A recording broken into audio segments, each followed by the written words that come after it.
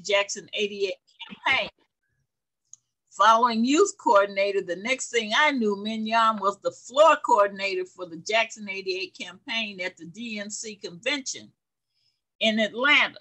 She went from there to, to the Dukakis campaign when Reverend didn't get the nomination.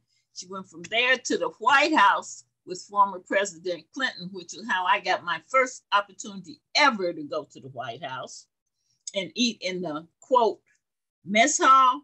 Is that right? Okay. She went from the White House to the DNC and then to becoming a book author. And she is currently in the leadership of the DNC. And I'm going to stop there because she has all kinds of information. And I want to introduce to some and present to others my friend Minyon Moore. Well, thank you, Betty, because it is indeed an honor to be with so many people that I have grown up under, that I have watched become powerhouses in their own right.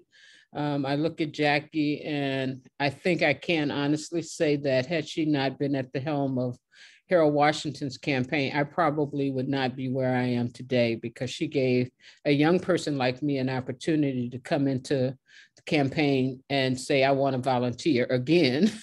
I guess I'm I'm gonna label myself the world's greatest volunteer. And she gave us a seat over in the corner and said, go, go at it, do what you have to do.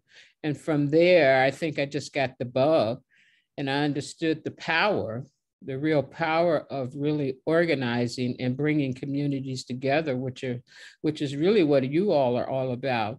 And every time people say it's the year of the woman, I always look back to all the groundbreaking things that have happened in Chicago, and I reflect on that, and then I get I get spirited one more time.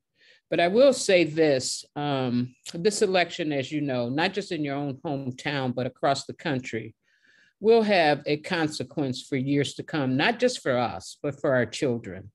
I really do think that our democracy is at stake. I just recently had the opportunity to work with our new Supreme Court Justice, who was just installed on Friday, who I understand from one of one of my friends that, who's a Supreme Court clerk said she came in there gangbusters today.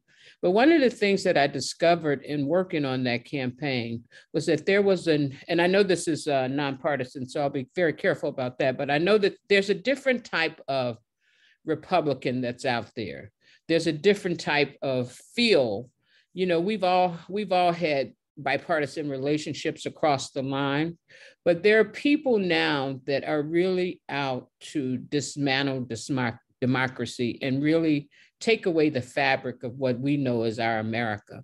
So I think it's important that we stay rooted in the fact that it's not really about what we want to see, but what is it that we want our children to see? Just like somebody like Betty and others and Jackie took their arms and put it around me and said, okay, we want you to become an organizer. We want you to work for the White House. We will lift you up. I believe it is our duty to see in the future and not just at the present. And it can't, you know, I say that we can't always agree on everything, and we know that. And we know that there's been some, you know, some, I think I personally believe Chicago is portrayed in a way that I don't know it. I love my hometown. I consider Chicago my hometown.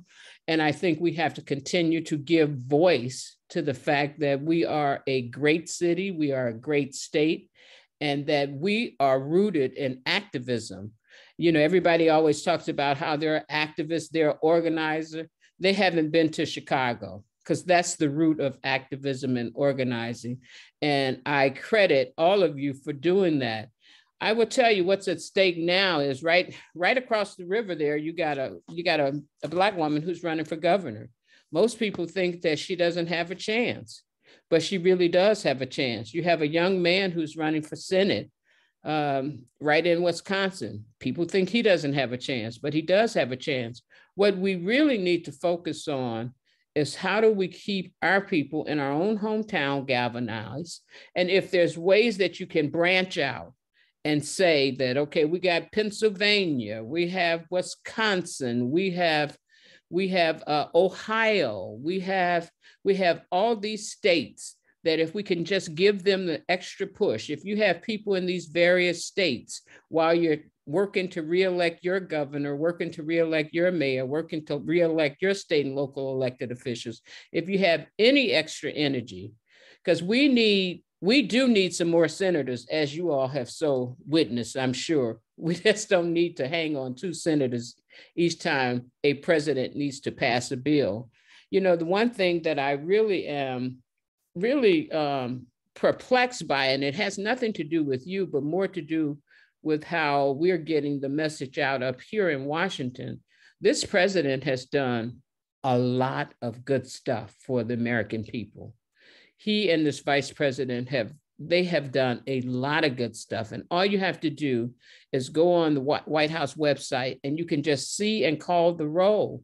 And we have nothing to be ashamed of. And I'm sure the same thing is happening in your state with Governor Pritzker and with your lieutenant governor and with the mayor. Yes, I know. I listen, I hear all the politics. I hear all the politics, but I am here to tell you, I witness a level of politics that has that, that, that will never match what we think we're not getting. These people are out to destroy democracy. And we have to be clear about who we want to put in office. And we have to be clear about the fact that some people might not check all the boxes we want them to check, but if they check enough, and if you know that there's a core decency, because sometimes we're just talking about decent elected officials who you can hold accountable. One thing I tell young people all the time when they get, you know, they get all riled up about this and that, I'm like, well, listen, we were taught if you're going to elect somebody, just don't go into the voting booth or vote by mail and then think that that's it. You have to go back and you have to go back to their offices. Jackie, I don't know if you know this story, but when we elected Harold Washington, I was so dumb. I went down to that office every day because I wanted him to come to my church on the south side of Chicago to do a health fair. And Ed Ham, who was the scheduler, would brush me off. But I, every day after school, I'd come back again. But then they finally decided to bring the mayor to Third Baptist Church, where we had all kinds of things going on. It was carnival, like we had health fairs. But then that's what I understood about the power of my vote. You don't cast it and walk away from it. You cast it and you hold people accountable. And we have to keep telling our young people because this really is, and I say this because they're the ones that get the most dispirited, you know, we have Roe at stake right now. You know, all the young women who didn't, who weren't born missing this right. Now all of a sudden they understand what it feels like to not have a right that they were entitled to when they were born. And now it's being taken away. And we have to just crystallize these messages to these, to the young women, to the young men, to even to us, who sometimes we are harder on our elected officials than we we sometimes need to be. But I, I'm I'm sitting here in Washington, ladies, ladies, and if there's some gentlemen on here, and I will tell you, our elected officials are like little bitty angels compared to what we're up against. And we have to be really certain that when we say we don't want to vote for this one because he didn't do this, and we don't want to vote for that one because they didn't do this, you got to be real clear what you're leaving and what you're putting at stake when you do when you make that choice. I look at what's happening with uh, Reverend Warnock in in uh, Georgia. He shouldn't be running neck and neck with his opponent, but he is. And that's because people are seeing different they they get different cues from different people. And listen, this it doesn't make anybody bad people but it is it is we are we are at a point where we have to determine what we really stand for and what we believe we want to see in this American family. And if we want to see degradation, if you want to see people going after a more than qualified Supreme Court justice, if you want to see people just really using vile and ugly language and storming your capital on January 6th, all you got to do is stay home because they're running and they're running, running, and running. And please don't take for granted that they are not galvanized. Everybody has a stake in this, and so do they. So we all have to understand completely that whatever we want to see, and that's all I will leave you with is what do you want to see on, no, on the day after election? Who do you want to see in office?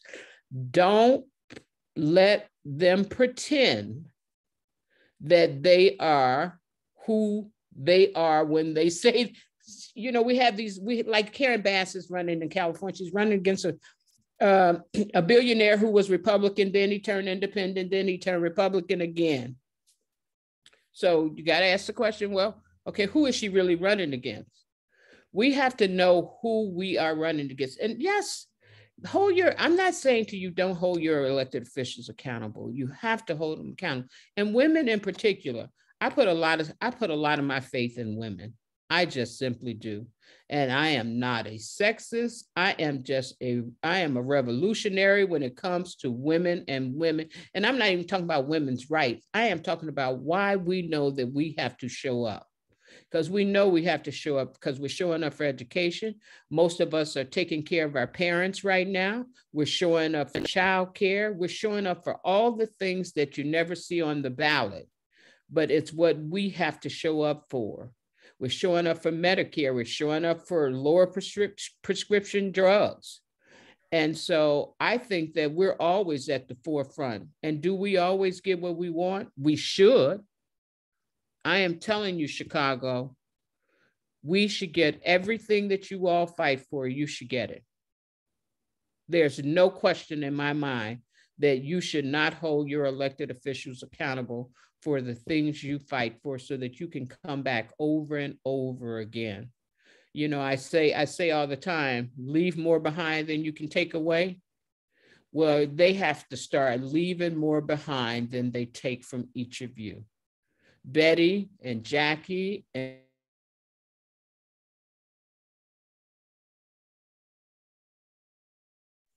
Your screen's free. At this for years years. And it should be a point where they should not have to fight this hard. But since we do, let's do give it one more good try, Chicago. one more good try. And then we can say, y'all got it. Because I'm to go wherever y'all go, I'm going with you. And that is a fact. But you put your hearts into these elections every year, every cycle. And I thank you for it. I sincerely thank you for it. Right now, you all are fighting for the convention. Yeah, yeah, yeah. I'm part of the, I'm a co-chair of the, I'm a nonpartisan co-chair. yeah, yeah, yeah, Chicago. but you know, there's so many wonderful things that's happening in the state of Illinois. And you know, get out here and fight on student reduction too, because these kids need it. Listen, every time something pops up on my email, I send it to my sister. Hashtag student reduction. Don't forget to apply because this impacts our families. These, the, every little bit helps. So I'll stop there and say, I love you all. I am so honored to be a part of this group and I'll take questions if you need it. I got one. Sure. Uh, just want you to share a little bit about your book. Oh, okay. There's probably information in the book that well, I read it, so I won't say probably. There is information in the book that would be very helpful, especially to young people who are on the line. Well, actually, the book was written because we had a we had a producer that wanted to do a show on me and several of my friends, all of us, all of whom, by the way, worked for Reverend Jackson and they wanted to do a, a, HBO series. We literally had signed on the dot to do the series. When the scripts came back, it started. We started looking at it, saying to ourselves, "Oh my God!" You know, me myself, I was saying, "Oh my God!" My family in Chicago, my friends in Chicago, will be like, "Really? Is this what you went to Washington for?" Because they don't know. You know, you know how Hollywood do you So one of our friends said to us, Isiah Thomas, in fact, he said to us, you all need to step back and you need to lay down a marker about what, what you have accomplished and what you hope to accomplish to give young people and women in particular a roadmap to doing, you know, politics on a national level. And so we decided to step back and we wrote the book. Some places is funny, some places are very serious. We will all give Reverend, we do all give Reverend Jackson credit for having propelled us to this level. Um, because had he not run twice, we would not have had the experience to even go into a White House or to be the chair of a national party or to, to run conventions, which all of us have done. And so we kind of tell our journey. I talk about my hometown, Chicago, with love, of course. And um, it is a, it is a love letter in many ways to young people. And hopefully we'll do an appendix, you know, at some point in our lives. But you know, that's why we decided to write it. And I think one reason, majorly, why we decided to write it was because we felt like we owed so much to the women like Reverend Barrow and Coretta Scott King and Betty Shabazz and Maya Angelou, who all took us under their wings to, you know, to help us out and to make sure we had a path forward. So that's why we wrote the book. Can you give the name of the book and the other authors with it? is actually know. called I know, but everyone. it is called For Colored Girls Who Considered Politics. And we we fell into that title, but anyway, it's it, it's all explained in the book. And thank you for plugging the book. book is actually two or three years old now, by the way, but it's still relevant today. So, hi, Minyon. It and the and the other authors, Minyon, besides you. Oh, yes, it's Donna Brazile, Leah Daughtry, and Yolanda Caraway. It's four authors. Okay. Try writing a book with four people who got who all got something to say. okay, you... go ahead, Mary. okay. Well, I did read Hack, and I enjoyed reading the part where you guys were talking about being in the back in Donna Brazile's backyard, drinking wine and talking about how you all were going to just tame Washington, D.C. I felt like I was there. Um, but uh, my question was, uh, is um, I want to know, I saw you in the room, I saw you sitting behind Ketanji Brown Jackson, and I was almost in tears, like, oh my God, I know her, I know her. And that made me feel so close to um, Justice uh, Jackson just by the mere fact of being able to recognize just a, not not someone with a title, not an elected, mm-hmm. but someone I knew from the South Side of Chicago. What was that room like?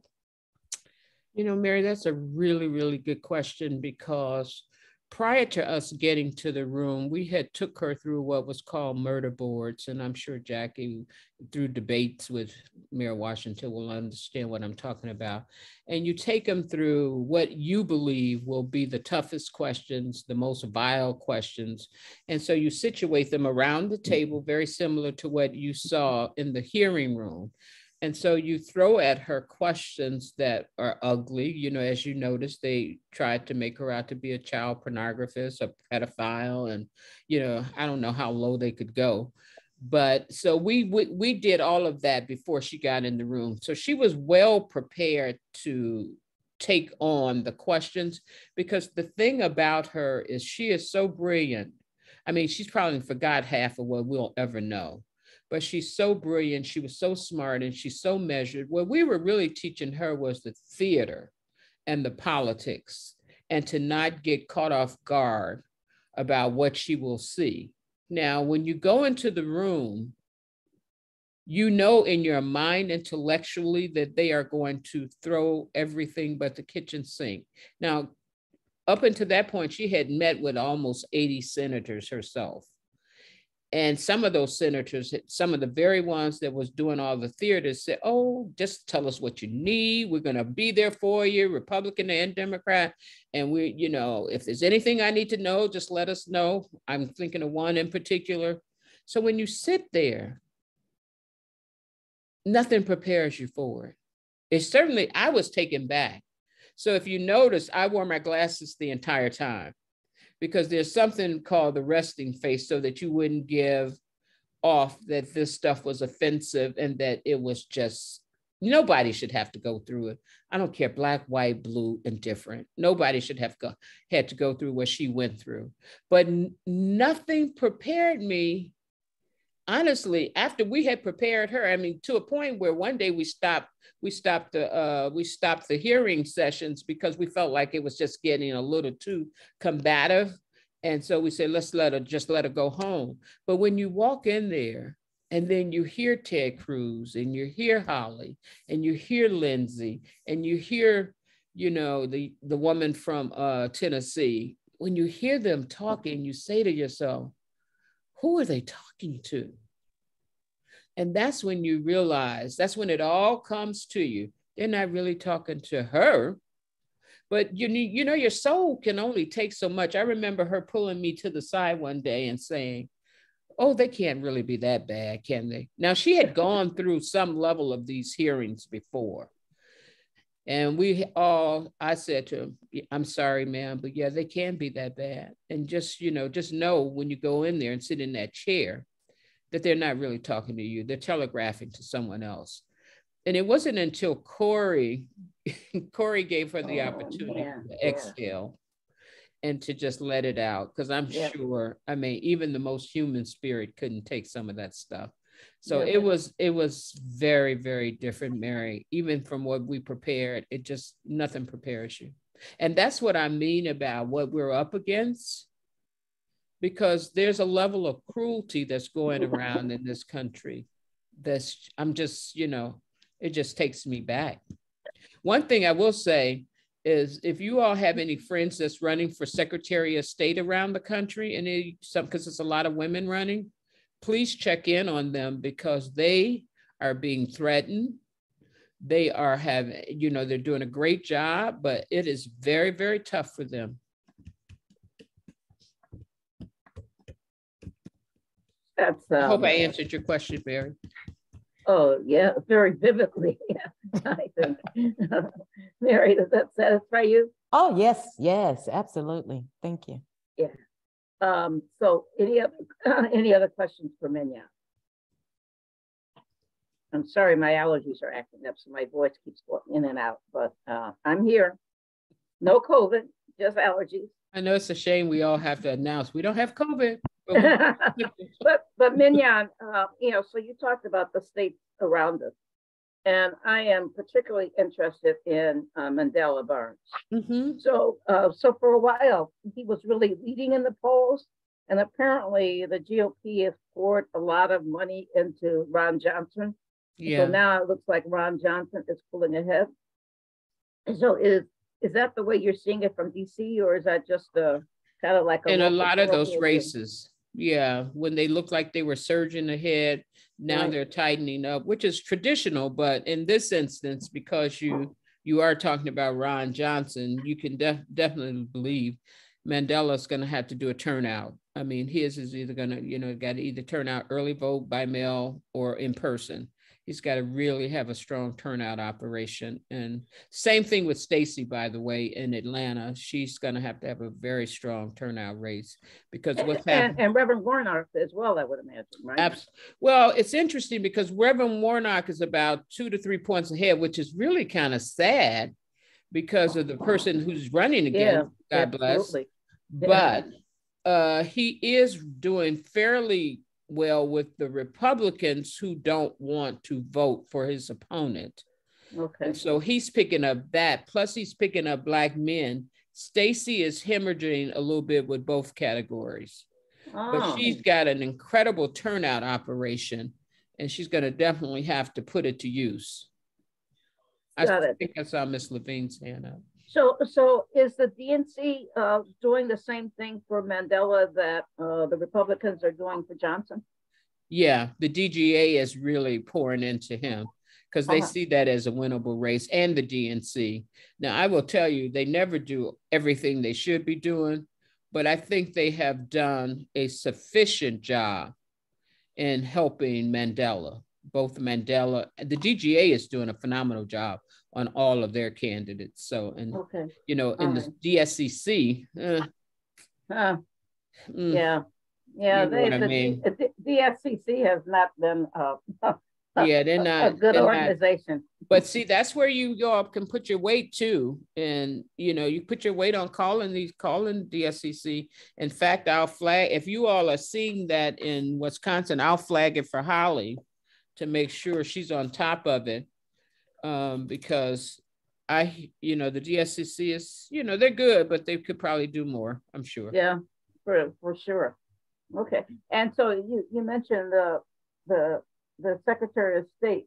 Well, you know, Michigan is a is a you know, as you know, another state that's close uh-huh. has a lot of crazies running around. Um, so how how are you seeing the the race for governor for um, Attorney General and Secretary of State up there? They're actually running one of the best campaigns because they're running neck and neck with each other. They're they they've kind of interlocked. Plus, they have a ballot initiative, an abortion ballot initiative. I would say, I would call mm-hmm. it a, a, choice ballot initiative. But right. they have a ballot initiative, and so they're doing pretty good. And their Secretary of State is pretty aggressive. She's really aggressive, and she's you know she's you know she takes no prisoners, but still you know, like I said, the challenge we have is the unknown. Mm-hmm. Because, you know, if you look back at Hillary's race, you know, the one question I used to ask in Hillary's race all the time do you see the other side galvanized the way they were with Obama running? Do you see them galvanized for Trump? And I was trying to see if the analytics were showing any movement. And of course, they go, oh, no, no, no, no, no. Hmm. Hmm. Listen, they came out the woodworks. Yeah. And it's a recent poll that shows and suggests, now I don't know which which white person it is, Carol, Phyllis, or or whoever on here, but they are saying that white white people are really, really galvanized. And I'm hoping it's women. And I'm hoping it's women for choice but you never know, you know, because right. we still have we still have our nemesis running around. We got it. So I don't want to ask all the questions. Um, does Carol anyone has, else? Carol has a question. Jay. All right, Carol.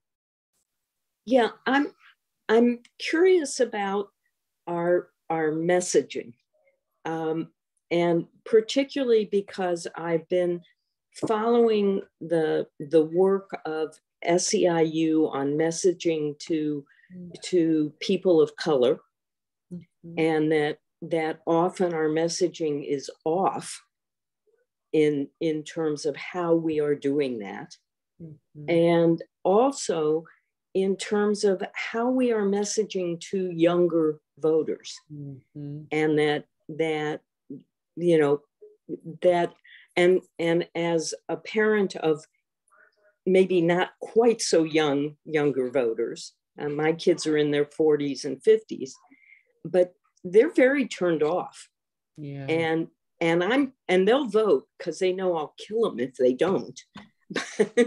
but but I'm I'm very concerned about are we really sending the right messages mm-hmm. to the right people?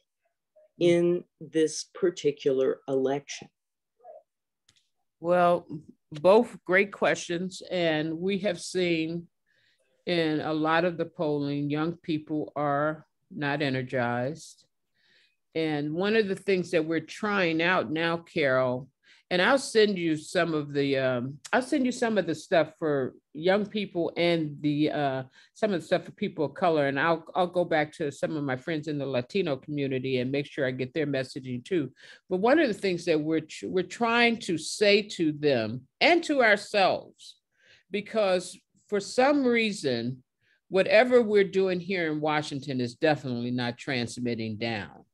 So what we are saying to them is that whatever has been accomplished, it hasn't been accomplished because Biden did it.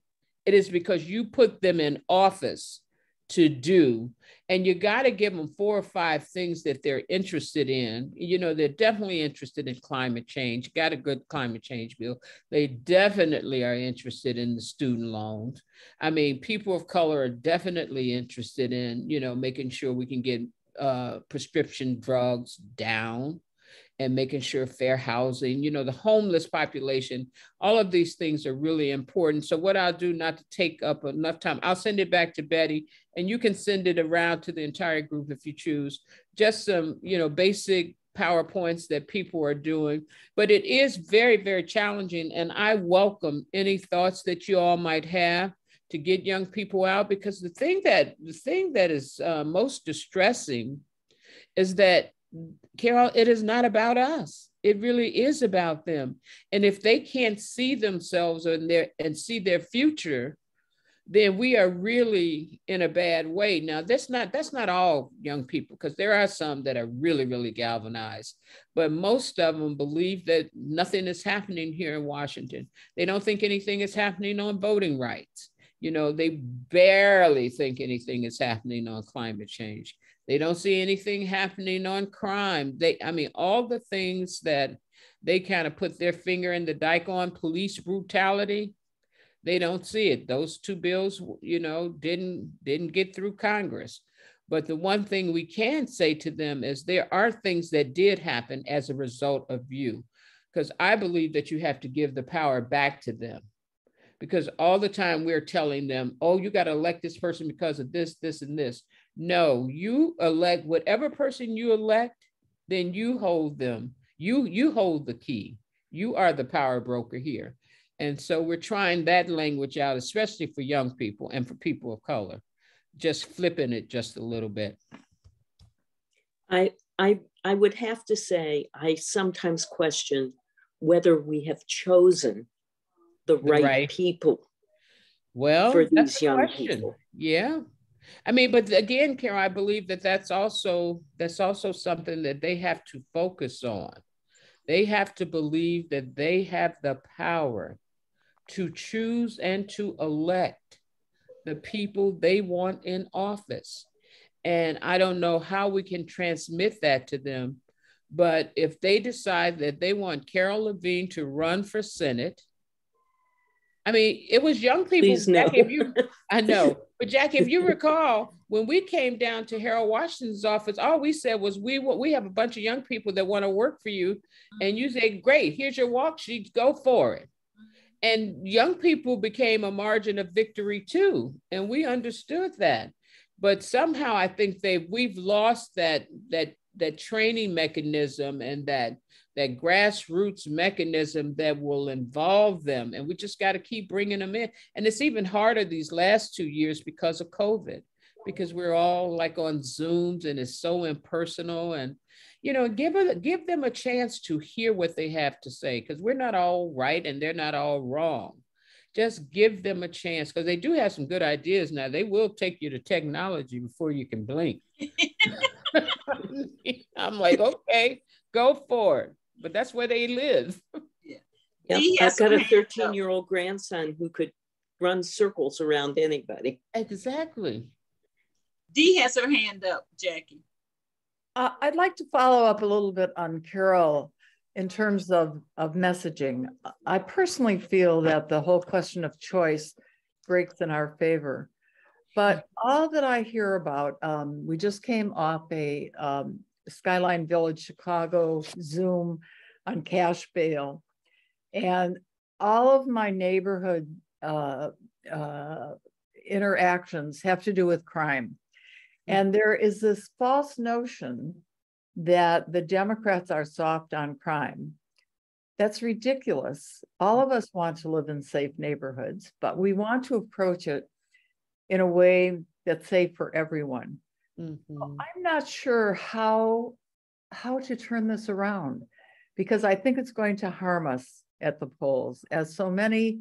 Uh, I worry about that, and I also worry about the fact that I feel that this administration has done so much good and has passed so much good legislation, even though obviously we have miles to go. Why why isn't that message getting out? And why is it that the message that we're soft on crime seems to be making the rounds? How, how do we deal with that?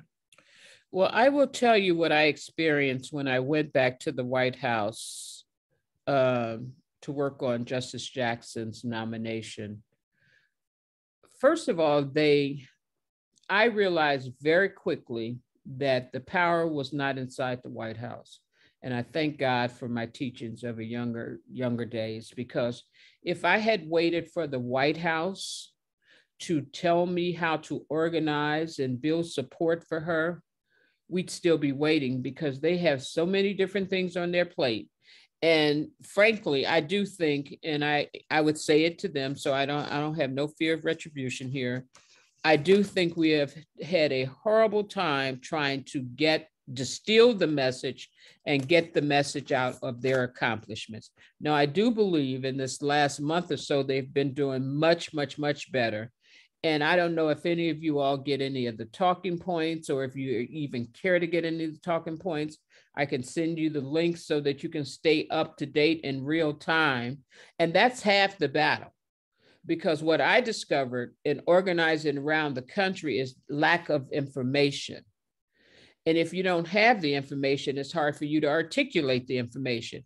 And then you don't even know that, like a call like this, you can request someone from the White House to be on your call to explain to each and every one of you what they are doing. How do we talk about crime? How do we talk about the accomplishments? And i you know if you all want want me to reach out to anyone for your next call i'm happy to do that as you go across the finish line because see those are the things that we did. We had zoom calls like this across the country we were like reaching out to everyone because the information gap was so great. And that's that really is part of the challenge. We organized young people. Like one of the groups that we thought would be interesting to organize for her was young lawyers. We had thousands of lawyers on conference calls and zooms. They had never had heard from a white house before and what we have to do is lower the barrier to entry so that you all can become advocates and evangelists for the things that you know are right. You don't have to, like Carol said, it might not be everything you want or or even the person you want. But there's some things that they have done and they have done right. Now, I will tell you on this crime issue, one of the things that I noticed in the NAACP's um, in their PowerPoint, they're hitting it both ways. They're hitting it on the police brutality and as it relates to the gun violence in the community. And so you have to figure out who are the messengers that are talking about this because it's important. Reverend used to talk about it all the time. He used to talk about crime, black on black crime in the neighborhoods. He used to talk about teenage pregnancy. And it's the messenger that can help you get it out, you know, and make sure that it is amplifying because you're right. We can look like we are soft on crime when in fact we are not. We are smart on crime and we are not just penalizing the police or penalizing the community. We're trying to figure out what is this model that can make sure that every part of the community is respected. Whether it's a child that's walking down the street and just hit by a miscellaneous bullet, or whether it's a, a, a police that is not doing its job and harassing young Black kids, all of that stuff has been, some of that has been addressed in President Biden's a new crime proposal. And maybe we just need to get you the information and make sure that you can have the information to, as they say, walk the streets with. So Betty, I'm happy to organize uh, one of the one of the senior members, you know, maybe Cedric or yeah. Lance Bottom or someone to come on and talk to you all about the accomplishments of the White House. Keisha would be great. Yeah. Keisha would be absolutely awesome. You know, I wanted to mention one of the things that's happening is uh, there's propaganda that's uh, been mailed out. I don't know if it's throughout the, I, it is throughout the state of Illinois because it's focused on the governor.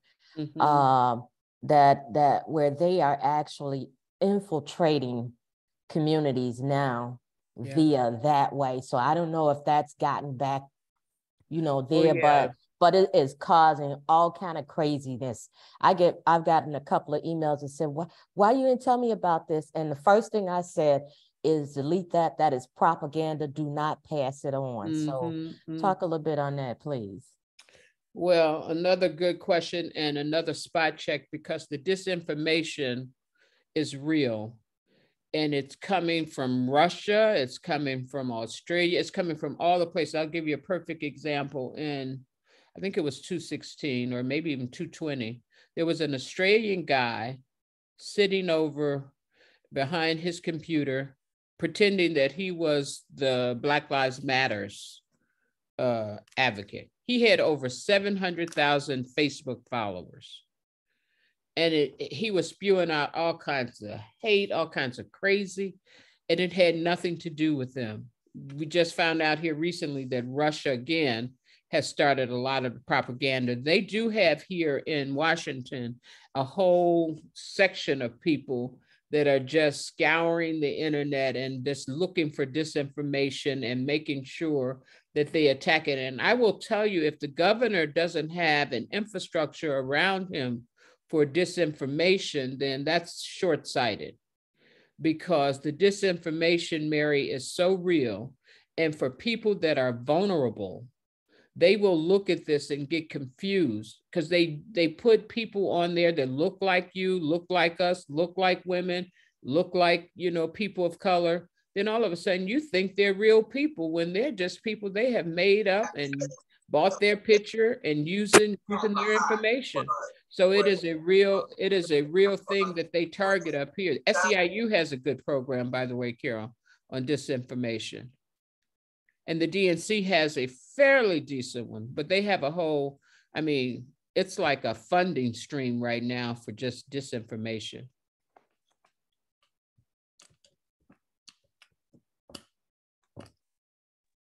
Betty, do you see any more hands? Yeah, Adrian Jones had a question. Okay, um, good afternoon. I do have your book. It was wonderful. And I do appreciate everything that you've done for the Black women of Chicago and everywhere else that you have touched with your uh, ministry in politics. But one thing that you just said, and you said every part of the community is respected, that that's the message that you wanted to get out. You know, in Illinois, they just passed the Safety Act. Mm-hmm. And a mm-hmm. lot of people are, are, are very, very um, confused about how this is going to impact crime in, in Chicago and then Illinois. If they're letting people go without really thinking about um, what this person has done. They have made it to the individual. This they're letting everybody out of jail, and they're going to have all these people running around killing everybody. And it's it's not that. And I think this one sentence could clear it up for so many people that this act clearly wants to make every part of the community respected.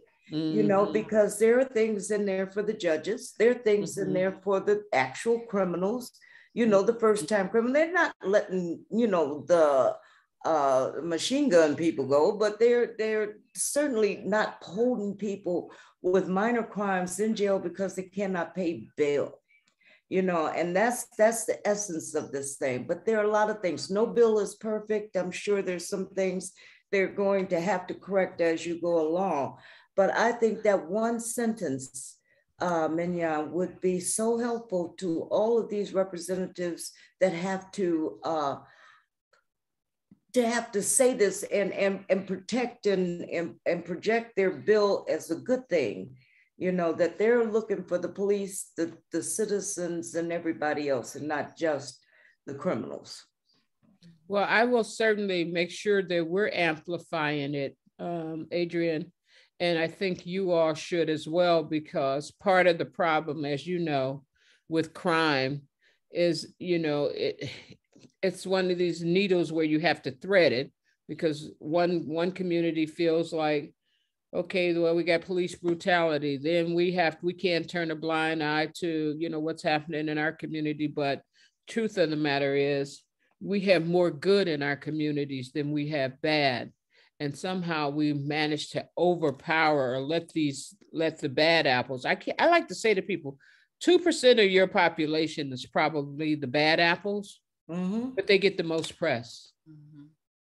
and we got to overwhelm them and i will give this last point on justice jackson since it's the freshest one thing that we realized very early on that we couldn't do was we couldn't outbeat the republicans on the negative so we decided that we were going to make her campaign based on qualifications, based on information, and based on joy. And see, you know, they they can't deal with joy at all. joy is a little bit tough for them. So what you have to do, you have to do is try to figure out a space where you can go over them and really start energizing people and giving them giving them the energy and the will to make it look like this is a movement and a campaign and it's not something that we got to drag them across the finish line. I mean, is there one person on your ballot that everybody likes? Is there more than one person on your ballot that everybody likes? Or maybe you just want to give a collective message about how you all feel as women in Chicago, plus men. I see Tony, my brother and how you all feel feel as women, you know. Um, but, yeah. there's a question in the chat. With all the money that is available under the IIJA and the IRA, how is the administration going on getting the funds spent as intended? And why y'all gonna ask me that? Cause you know, come on. It's going as should be intended, but it is not going quick enough. Let's put it, I will leave it Got at it. that. It. It is not being dispensed quick enough.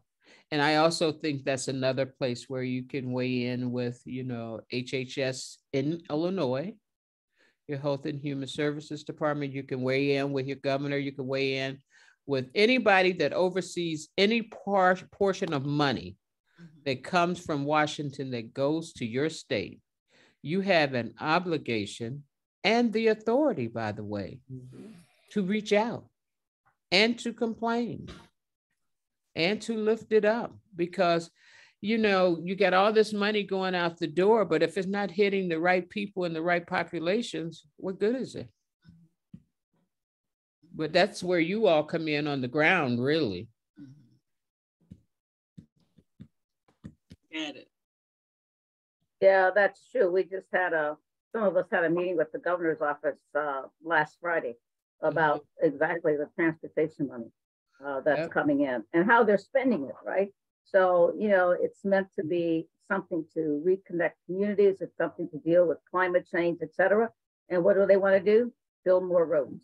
And so we were saying no more roads, not until we fix our transit system, until we do some some bike and pedestrian uh, amenities that we work on safety because the number of pedestrians and cyclists that are being killed every year is um, it gets keeps getting worse, right? I think it's about 30, 13% increase anticipated, you know, in, in 2021 over 2020. So um, no, you're absolutely right. And, you know, that is our responsibility and we have to keep at it. Yeah, I think people forget that, um, you know, and I used to say this to my team when I was in the White House all the time. The one thing that's for certain, we will come in and we will come out. The one thing that could be for certain is you might get your calls returned or you might not. But what is for certain is that we work for you. We work for you and your hard earned taxpayers' dollars. Nobody is getting a corporate check in government. Mm-hmm. You all are paying these people to do your to do their job. Mm-hmm and you know i think we i think we forget it a little bit because we're so busy electing them and trying to get you know get the right people in place but they work for us. And i used to tell my team all the time you okay you better pray they they call you back. You better do something i don't care if it's a tour on saturday or sunday. I don't care if it's a lunch a mess lunch whatever it may be. Always keep in mind you work for them. Mm-hmm. Mm-hmm. And sure. if we kept that in mind enough, you'd understand the power. Absolutely. Absolutely. Um, all right. So, uh, Betty, have I missed any more hands or anything in the chat that I may have missed? I'm looking now. Dee just went off to celebrate her 63 years of marriage. Oh, I think that's so wonderful. Yeah.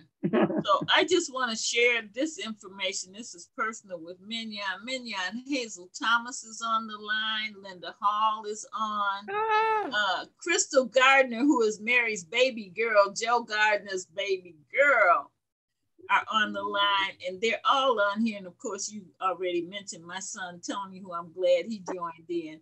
We're just all so happy and so proud of you so super proud of Hazel was, was was with you when you came to the White House, her and Esther. Yeah, she and I came and you took us to the mess hall and we got to walk around. I felt really important. I was like a big big, big egg in the in the no big hen in the egg house. That's right. but it's the people's house. That's why I never forgot it. People's house.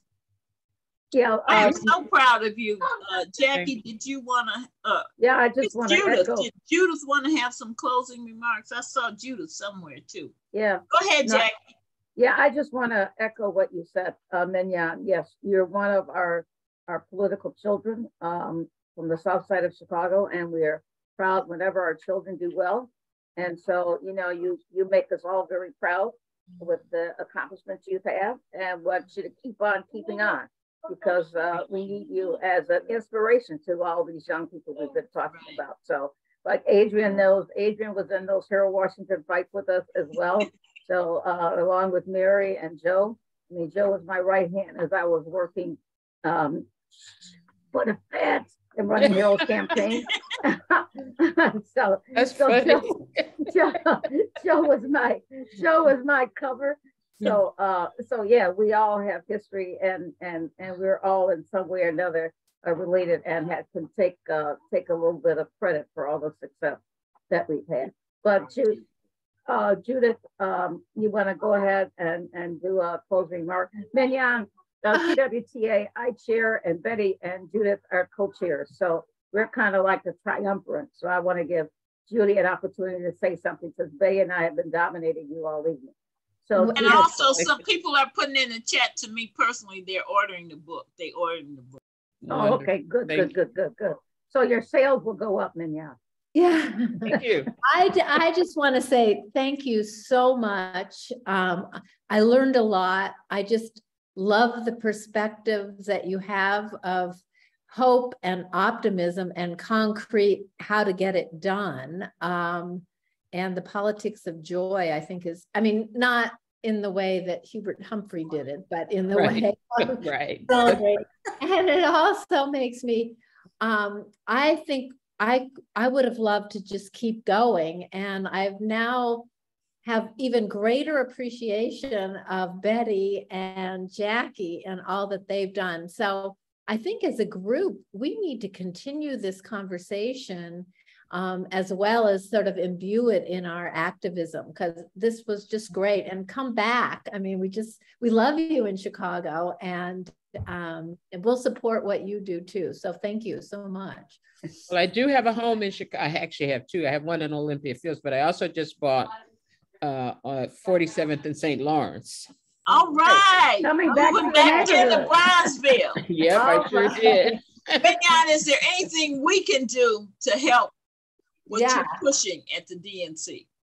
Well, I think you, if you just continue to use your voice, this is a powerful group. I recognize so many of the names on here, and just never take for granted how powerful you are. I mean, the, the governor is powerful up here in Washington. Your lieutenant governor Stratton, she's powerful up here. And just know that you can use your influence. Use me in a way that can help keep pushing the doors open for people that you feel like are not getting the resources they need, whether it's at home or whether it's in other states, like Jackie mentioned with Mandela. Just know that you have many, many resources that you have at your disposal, and we're here to we're here to help. That's all I can say. We're we're here to help. Terrific. That's awesome. Okay. Anything else before we let Minyon go? Now it's it's getting pretty late out here on the East Coast, so we want to keep her all night. Oh, this is early. uh, so, So anything else? I'm in Brooklyn right now, Minyon. Oh, so you are? I'm on the East Coast with you. Um, but, uh, but any, anything else from anybody? Just thank you so much. This has really been great. you. It was my honor, really my honor. And thank you for inviting me. All right. Thank you thanks, so Minyon. much, Jackie. Thank, I mean, Jackie. Yeah. Thank you, can thank me. Jackie. Thank you, Jackie, because when, when, when I put you in, I said, Jackie, you send a letter because it's so self-serving for me to send it. You know? But it was self-serving for her too. She just wouldn't back down. Well, thank you again, and I'll let you all get back to your meeting. Okay, Okay. thank you All so right. much. Have a Thanks. blessed day, Minyon. Thank you, Okay. Betty. Bye-bye. Bye-bye. Okay, guys, uh, another great meeting. Um, and so Sherry, you have the challenge of, of editing this for YouTube. But, uh, yeah, but no, I, I, I agree with, with uh, what Judith said. This has really been terrific. And, you know, we always learn something. You know, I think I know a lot about politics and you have somebody like Minyon from a different perspective come on and discover that there's a lot of thing, I things I don't know. So, uh, always a learning experience. So, uh, so yeah. Yeah, Yeah, I think we had a really great meeting. Uh-huh. And I think we should take her up on getting some of these White House Yeah, people White House to come and talk yeah. to us. Yeah, that'd be terrific. That would be. It- You know, it, it's really clarifying. It's really just helpful. The more we get in, um, it, it, it does help us be as effective as we can be. Absolutely. Yeah, I think it, I mean, and if we could do it in person, I think, you know, talk about Oh. membership. Um, I think Right, if yeah. we, if we could pull that off, that would be really great. Um, Terrific. yeah. I'm a Okay. little I, I I just want to trying to get interject. people right now. Go ahead, Phyllis. I'm just wanted to interject. We had a number of people who were, who thanked us for inviting and we have to thank them for coming. Uh-huh. Yeah, It's wonderful sure. to have all, the all, all of you here. yeah, yeah. So So much. Jackie, this is Adrian. So we have possibly um 17, 18 new aldermen coming into the city of Chicago. It hasn't happened since Harold won the remap and you were out there getting all these people Right to to run. be aldermen of the wards in the city of Chicago. And we have to remember also, some of those folks were rabble rousers. They were young. They were a little bit different. People were afraid and they did, some of them did really, really good job at what they were doing. So we're about to see that again. What do you think about that? Did you go away on me, Jackie? I No, think she's there, but I'm gonna answer real quick. No, Go ahead, Betty, If- please. I am doing nothing until after November 8th. Not even thinking about who's saying they're gonna run, because I don't believe it until they file in December. I Okay. mean, November. So until November 8th, I am single focused like a horse with blinders on, on November 8th. Or I'm yeah, afraid of what's gonna happen if we don't focus. well, you gotta be careful, uh, you know, just, just keep it in the, on the side view mirror. No, But you it's in the watch. back. It's in the back it's- right now. Okay, okay. Jackie, are you gone? Are you still with us?